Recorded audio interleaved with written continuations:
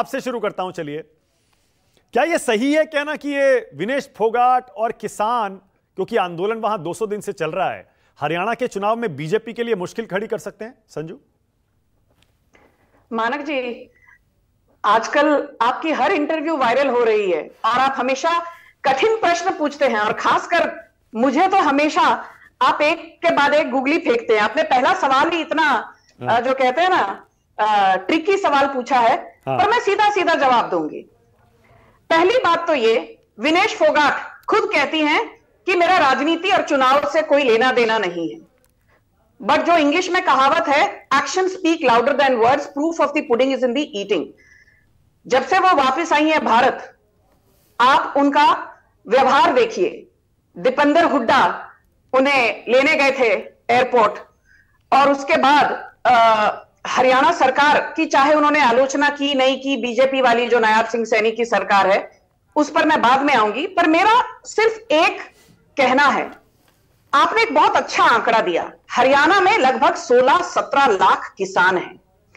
अभी मुद्दे की बात यह है, मानक जी, कि पिछले कुछ सालों में सवा तीन लाख करोड़ से ज़्यादा की राशि मोदी सरकार ने पीएम किसान के तहत सीधा सीधा किसानों के बैंक खातों में पहुंचाई है। यह मेरा पहला बिंदु है।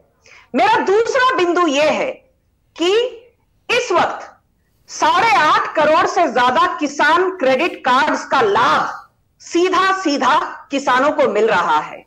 मेरा तीसरा बिंदु यह है कि चाहे आप धान देखें, गेहूँ, मसूर की दाल, मूंग की दाल, तुअर की दाल जो एमएसपी है आज तक चुनाव का भाषण एमएसपी चुनाव का भाषण हो गया। अरे तो चुनाव का भाषण ही तो होगा। किशोर जी किशोर जी एक सेकंड अरे चुनाव चल रहा है भाई। किशोर जी कैसी बात कर रहे हैं? चुनाव की तो भाषण होगी। कैसी बात कर रहे हैं? बोलिए संजू बोलिए। अरे डिबेट पर आइए। हाँ। अरे आप थोड़ा चुप हो जाइए किशोर जी बदतमीजी मत कीजिए। मैंने आपको नहीं टोका है आज तक जब भी आप डिबेट पर बोलते हैं। अभी अपनी बारी का इंतज़ार कीजिए। टीका टिप्पणी करना बंद करिए।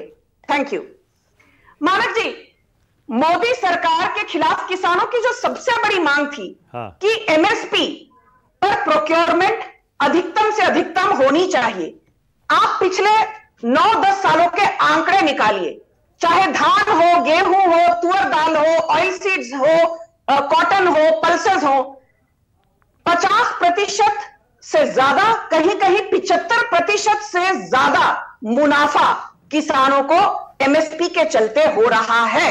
और यही कांग्रेस पार्टी जो एमएसपी को लेकर हरियाणा में दुहाई दे रही है, क्योंकि वहाँ बीजेपी की सरकार है, आपको याद दिला दूँ, पाँच साल तक राजस्थान में अशोक गहलोत की सरकार थी, हनुमानगढ़ में बाजरा की प्रोक्योरमेंट को लेकर किसानों ने आंदोलन किया था। अशोक गहलोत की पुलिस ने 2021 में हनुमानगढ़ में पीसफुल प्रोटेस्टर शांतिपूर्वक जो अपनी मांग रख रहे थे, उन किसानों की धज्जियाँ उड़ाते हुए लाठी चार्ज किया था।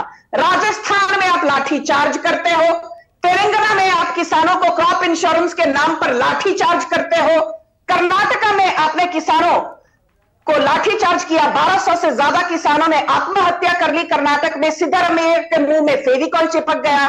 तेलंगाना में रेवंत रेड्डी से किसानों ने पूछा, भाई क्रॉप इंश्योरेंस के तहत हमको लाभ कब मिलेगा? रेवंत रेड्डी ने लाठियाँ बरसाई, रेवंत रेड्डी के मुँह में दही जम गया। और यही राहुल गांधी, जो किसानों की दुहाई देकर कहते हैं, मैं नफरत के बाज़ार में मोहब्बत की दुकान खोलने आया हूँ।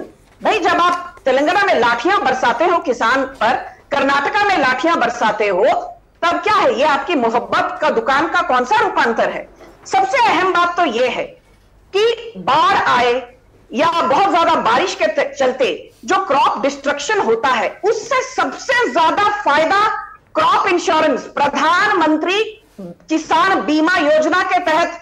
आप यकीन मानिए मानक जी गेस कीजिए आज तक कितने किसानों को इसका लाभ पहुँचा है? 35 करोड़ से ज़्यादा इंश्योरेंस एप्लीकेशंस प्रोसेस हुई है प्रधानमंत्री किसान बीमा योजना के तहत। तो मेरा कहने का जो संक्षेप है मैं जो मैं कहना चाहती हूँ तात्पर्य यह है कि किसानों को लाभ पहुँचाने में मोदी सरकार बिल्कुल पीछे में ही हटी और हरियाणा की बात करें तो याद करिए चाहे वो Delhi MMR TS Meerut corridor हो इसका लाभ कहीं ना कहीं हरियाणा को भी पहुँचता है। Gurugram metro rail from millennium city to Udyog Vihar इसका भी लाभ गुरुग्राम को पहुँच रहा है। संजू संजू अभी आलोक जी भी आ गए।